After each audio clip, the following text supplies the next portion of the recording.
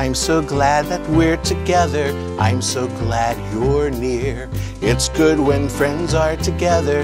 I'm so glad I'm here. Welcome to the workshop. Welcome, welcome to my special friend. I'm so happy and delighted you are near today.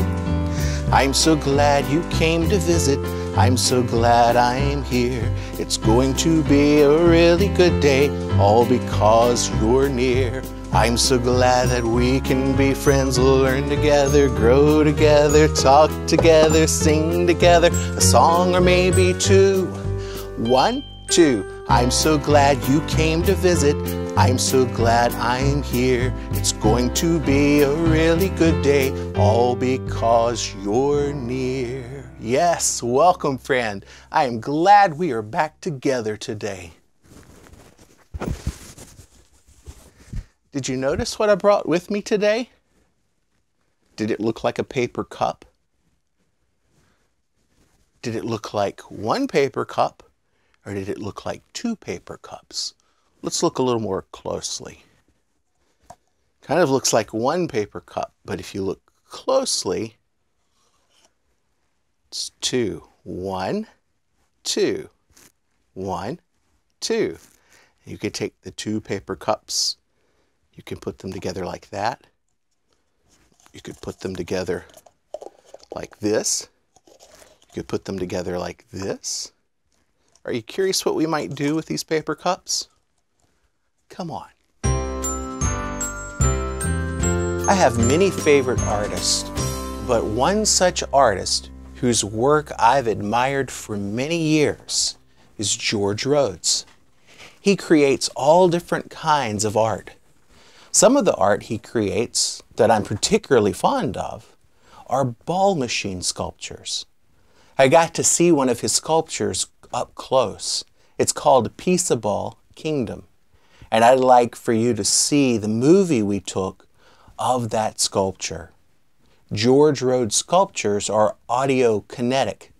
Audio means sound, and kinetic means movement. So George Rhoads sculptures move and make sound. The sculpture I'm going to show you has a motor that aids balls through the machine. And as the balls roll through the machine on tracks, they make different parts of the sculpture move and make sound. Let's ask Smart Screen to show us that video. Smart Screen, will you please show us the movie, the video file of the George Rhoads sculpture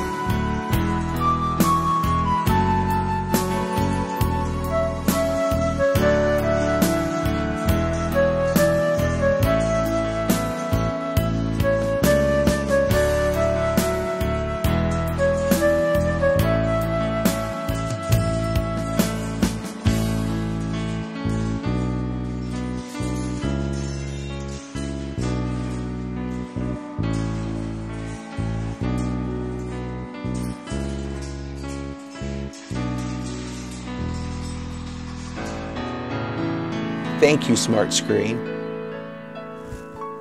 George Rhoads was two years old when he began to draw pictures of birds and trains. By the time he was 10 years old, he was building art out of old clock parts. He would go on to use the things he played with as a child in his work as an adult. George Rhoads' childhood imagining and pretending became a significant part of his grown up profession.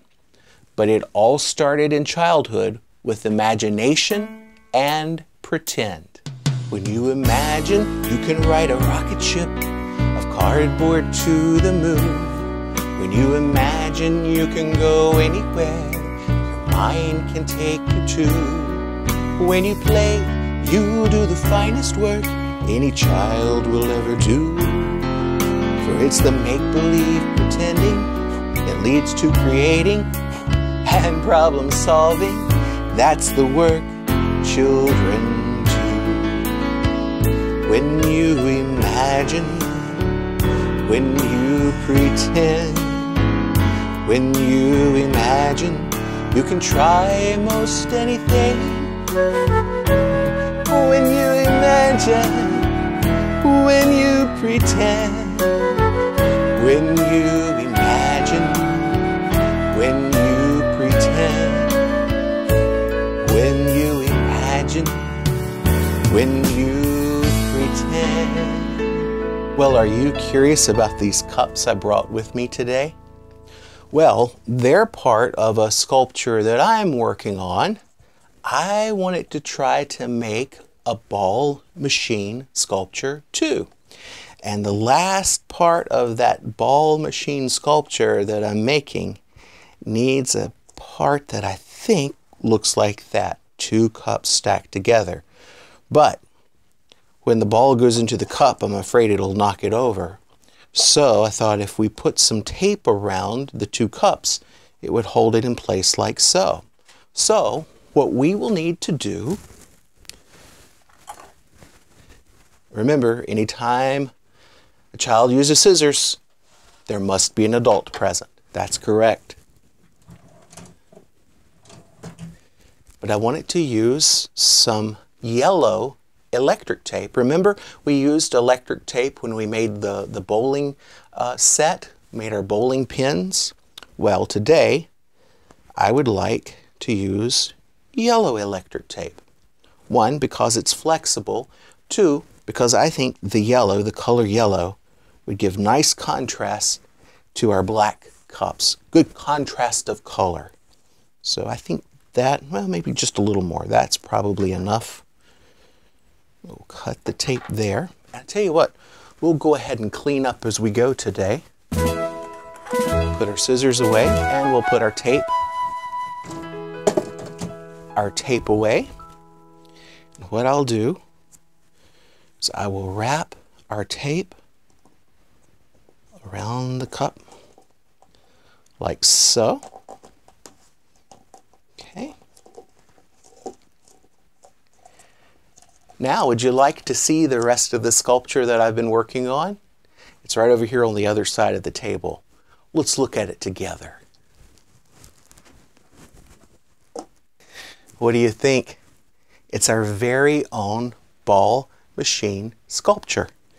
This is the last part. This is the part that catches the ball. The ball will come out here and hopefully will land in this cup. Now, the ball actually goes in this cup. And these are just old cups that I had left over. And this is a paper cup I cut the bottom out of. These are all cardboard tubes. And what I did is I wrapped the cardboard tube with construction paper and with electric tape. So we'd have a nice contrast of color going down. These are paper cups at the bottom on each side that gives the sculpture some support. And so what happens is we'll drop the ball in here. It'll come down, hopefully, it'll come down this chute. It will sort of rub against this and make the smiley face move just a little bit.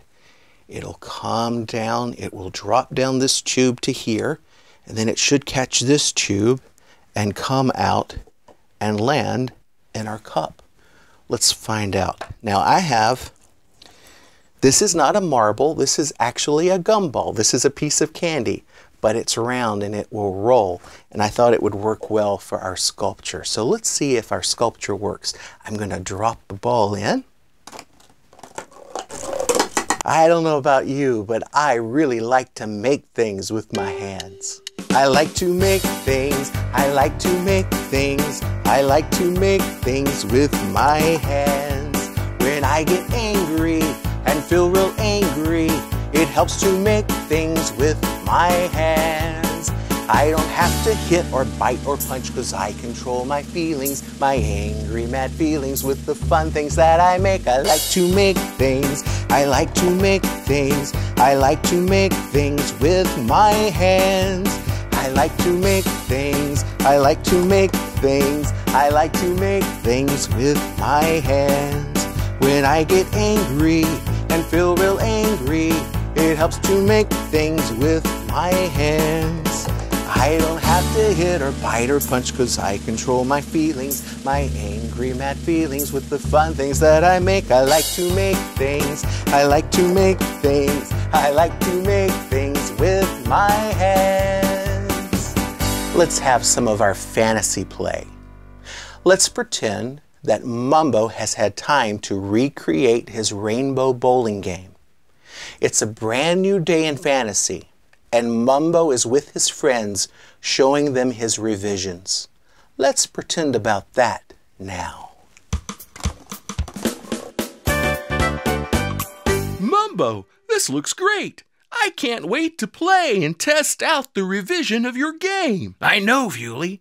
I worked all night, but it was worth it to make this game safe and playable for all. Show us what you've done, Mumbo. Sure, Boo. First, I made a rainbow bowling lane. You no longer have to find a rainbow. Rainbows that occur in the sky are always different. No two are exactly alike, and sometimes many weeks can go by without a rainbow appearing. Making our own rainbow means we can play even when there is not a rainbow in the sky. Also, the curve of the rainbow is not as steep so you can see the gold pins and aim the ball safely. Second, I've made this special ball. It's universal. Huh? I'll explain. Boo, you can put your hoof here and roll the ball. If we turn the ball like this, Vuley, you can put your fingers here and roll the ball. If we turn the ball like this, Poe can place his wing here and roll the ball. Finally, if we turn the ball like this, California and Duncan Fife can put their paws here and roll the ball. It's a universal ball. It's one ball that all our friends can use to play the game. Fingers, hooves, paws, or wings. This ball fits all. Cool, Mumbo. May I give this universal ball a roll? Yes, give it a try, Boo. Okay, I'm lining up the pins. Now, I'll roll the ball.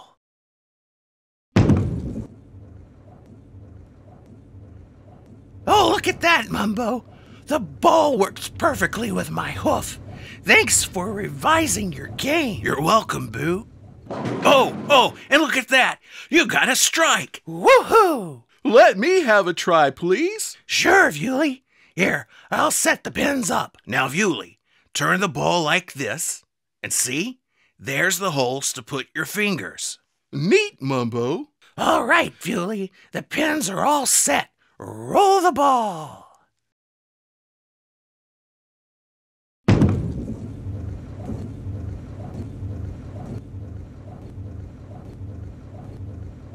Vuley, look at that. You picked up a strike too. Way to go. That ball works perfectly. Thanks, Mumbo. You're welcome. I tell you, I'm going to go call our other friends to see if they will come over and help test our creation. You guys keep playing and tell me what you think. All right, Mumbo. That sounds like a plan. So, Mumbo fixed the game, and it is now safe for everyone. He fixed the ball so it could be used by everyone. Mumbo is taking good care of his friends. Well, I'll come back later today and clean up our ball machine sculpture. You know, I was thinking about the last time when Boo's disability kept him from playing. Having the tools you need can make all the difference. This time, Boo wasn't disabled. This time, Boo had a ball that was made to fit his hoof. When people who are disabled or have a difference have the right tools, they, like Boo, can participate.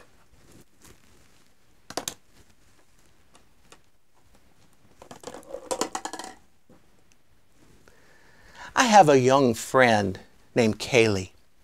Kaylee has a disability and cannot walk well.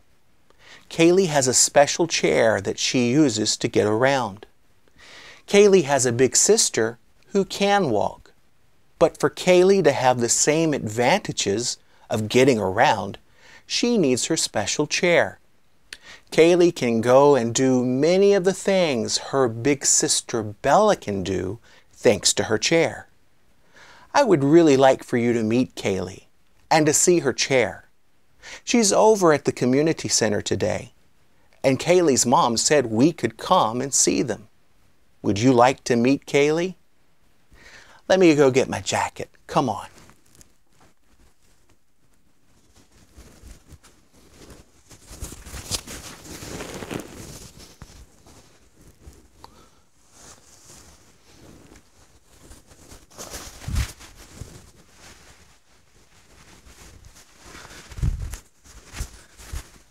Let's go over to the community center and meet Kaylee. Come on.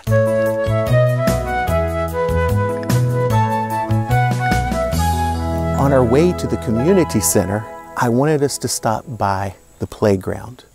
Kaylee, who we're getting ready to meet, is in a wheelchair, and it would be impossible for a wheelchair to go down a slide like this.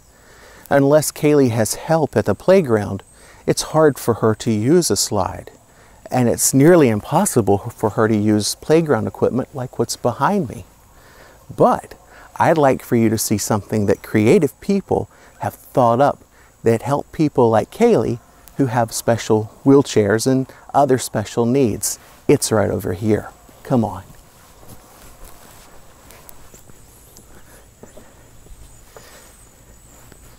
As you can see, a wheelchair can roll right in to this area and KK and children like KK who use wheelchairs can easily access this little house and play on the playground just like all the other children. We come inside, we see that there's a kitchen area inside this playhouse with all different kinds of desserts there are knobs that can be turned that Kaylee or anyone else could play with and enjoy. Right here, there's a place for mail, and children could pretend to put their mail right here through the mail slot. There's a clock on the wall, and we can make it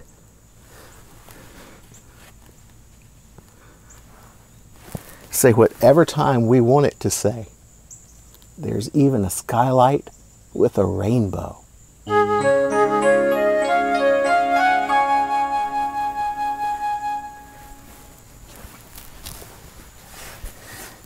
Well, I thought you might like seeing this little playhouse. Let's go on over to the community center. Come on.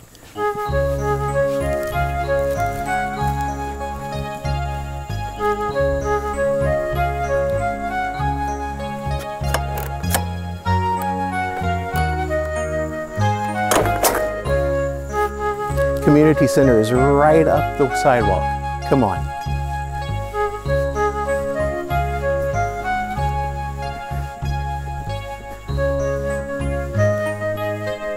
Come on.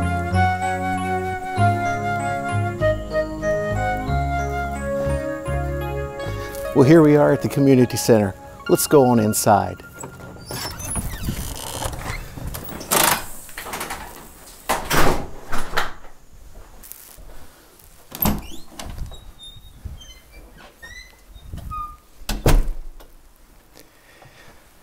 Kaylee's mom said they would be here today, but I don't see anyone here. In fact, it looks like we have the place to ourselves. Oh, look, here's a note. It says, Mr. Chuck. That's me. Let's open it up and see what it says. Dear Mr. Chuck, Kaylee and I tried to call the workshop, but no one answered. Kaylee's therapy time was changed unexpectedly, and we had to go to her therapy session. We will call you another time when we are at the community center. Sincerely, Kelly. Kelly is Kaylee's mom. I really wanted you to meet Kaylee today. See, Kaylee uses a wheelchair, kind of like the one I showed you last time. Only the one I showed you last time was made for an adult. The one that Kaylee uses is made for a child. Her chair is a tool that helps her succeed. You know, I really like to think about people having the tools they need to succeed.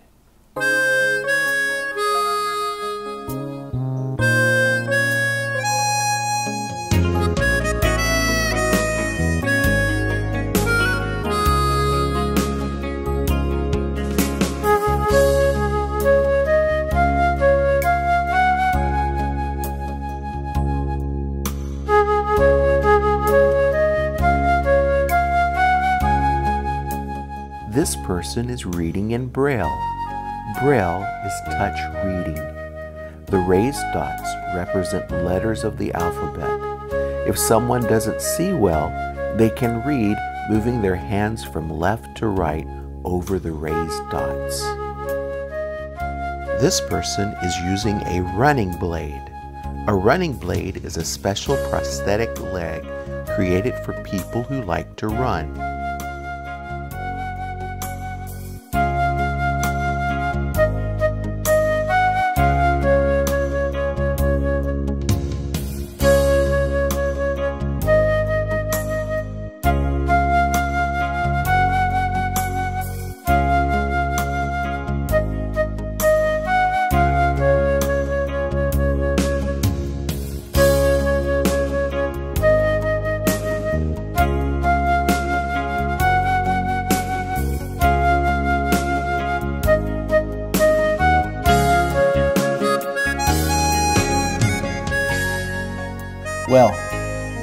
Was disappointing not to be able to meet Kaylee today and to see her mom, I'm glad that we had some time to take a nature walk and to think about people having the tools they need to succeed. Let's go on back to the workshop. Come on.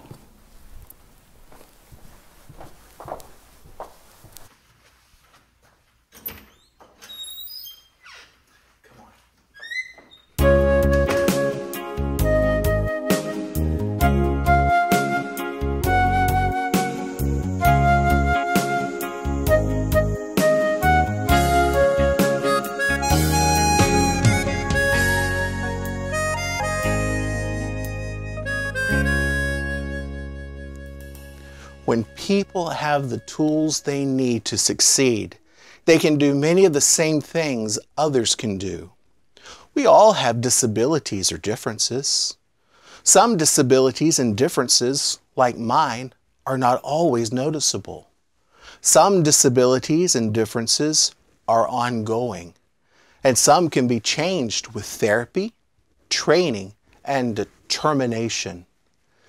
Other disabilities and differences are lifelong. Still, it's what we do with what we have that matters. Choosing to love others, being kind, and working towards equality for all people is something all of us can do in unique ways. I encourage you to look for ways that you can share love and encouragement despite any disabilities or differences you might face. I'm glad we can talk about important things. You know when we'll talk more next time. Next time, I will see you next time. We will be together next time. We'll sing a song or two or three. We'll sing it strong and merrily. Next time, when we're together next time. Next time, I will see you next time. We will work together next time. Talk together openly about important things we see next time when we're together next time.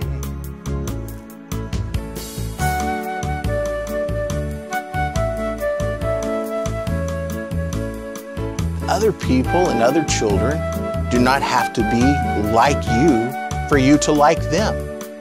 Some of my very best friends in this life look and act very differently from me. Still, they are dear friends.